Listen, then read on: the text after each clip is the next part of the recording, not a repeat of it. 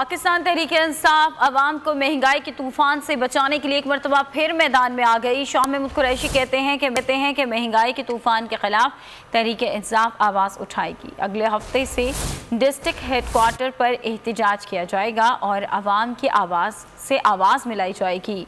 Punjab house के बाहर media से गुफ्तु में शाह महमूद कुरैशी का कहना था कि हमारा मुतालबा दोहरी साफ़ शफाफ इंतबात है।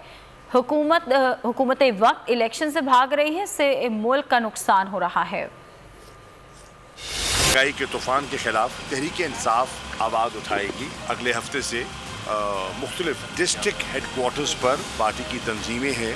वो हकूमत की नाकाम माशी पॉलिसी पर अपना नुक़ नज़र पेश करेंगी और महँगाई से लोगों को नजात दिलाने के लिए आवाम का साथ देंगे और आवाम की आवाज़ में आवाज़ मिलाएँगे। हमारा जो मतम नज़र है, वो है मुल्क में फौरी शफाफ इंतबात और अगर इलेक्शन में बेजा ताखिर की जाए, की गई तो फिर हमें हमें आवाम की ताकत से हमें रजू करना होगा और पब्लिक को मोबिलाइज करना होगा, क्योंकि ये मुल्क को डबो रहे हैं। ये मुल्क के मुस्तबिल को डबो रहे हैं और मजीद इंतज़ार नहीं हो सकेगा। मैं हूँ इमरान रियाज खान। अब आप मुझे देख पाएँगे सिर्फ़ बोल न्यूज़ इमरान रियाज खान साहब जो है वो बोल फैमिली का हिस्सा बन गए हैं। बड़े अरसे बाद किसी चैनल ने हौसला किया है। तो मुझे ऐसा लगता था कि हमें बोलने की इजाज़त नहीं मिलेगी। लेकिन बोल ने डिसाइड किया कि बोलने की इजाज़त वो लेकर देंगे। मुझे बोल की एक चीज़ बहुत अच्छी लगी कि बोल ने कैटेगोरिकली कहा कि जो करना है करो।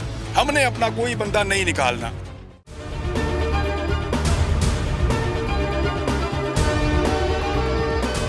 सबसे ज़्यादा व्यूज़ सबसे ज़्यादा रील्स और सबसे ज़्यादा रेटिंग के साथ बोल अब भी नंबर वन पोजीशन पर बरकरार।